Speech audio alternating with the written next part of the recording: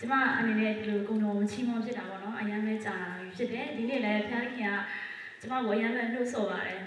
ဒီနေ့နားတဲ့အခါမှာကျမတို့ကြိုတင်ညှိနှိုင်းမှုမရှိပေမဲ့ဒီနေ့ဓမ္မသချင်းကလည်းမိတ်ဆွေယေရှုကျူးဆိုတဲ့ကောင်းစဉ်လေးဖြစ်နေတယ်ကျမဆိုပြီးတော့ဆိုမဲ့ ဒီချီးမွမ်းမဲ့ကောင်းစဉ်ကလည်းမိတ်ဆွေယေရှုပဲဖြစ်ပါတယ်လို့ကျမတို့လောကထဲမှာနေထိုင်တဲ့အခါမှာကျမတို့အရောက်စီတိုင်းမှာဖြစ်တတ်တဲ့စုံစမ်းနှောက်ယှက်ခြင်းလောကမှာဒုက္ခအရောက်စီတိုင်းမှာဒုက္ခအတီးတီးရောရှိကြမှာဖြစ်တယ်။ဖခင်ခင်ကတော့ကျမတို့ကိုပေးထားတာတော့ကျမတို့ခံနိုင်တဲ့ဒုက္ခကိုပဲပေးထားမှာဖြစ်တယ်။ဒါပေမဲ့ဒီအရာနဲ့အတူထွန်းမြောက်တဲ့လမ်းကိုဖခင်ခင် ဖွင့်ထားတယ်ပြင်ဆင်ထားတယ်ဆိုတဲ့အရာကိုဒီကောအခန်းကြီး30အခန်းငယ်73မှာလည်းဖော်ပြထားပါတယ်လို့ကျမတို့ရဲ့အနားမှာအစင်မဲဖခင်ခင်ကအတူပါရှိတယ်ဒီခါကျရင်ကျမတို့ကအဝေးကိုခေါ်တက်တယ်လူတွေကအားကိုတက်တယ်မဟုတ်ပါဘူးကျမတို့ရဲ့အနားမှာမိတ်ဆွေယေရှုအစင်မဲရှိပါတယ်ဆိုတဲ့ခြင်းလေးဖြစ်ပါတယ်စာကောက်နားဆင်ခြင်းအဖြစ်ခေါ်ယူကြပါစို့